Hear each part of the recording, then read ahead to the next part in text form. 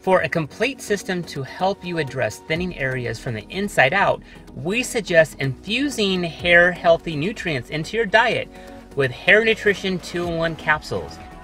Bridget and I were talking earlier, and Bridget actually just had a baby not that long ago, and I do remember going through that with my own daughter. And you know, you go through nine months of being pregnant, and then all of a sudden you are losing all your hair. And even though you know it's going to grow back, it's really scary.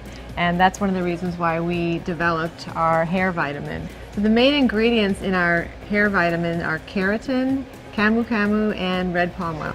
I hope you will all try this because you'll see your hair look stronger, thicker, shinier, healthier, and we know that's going to make you feel better.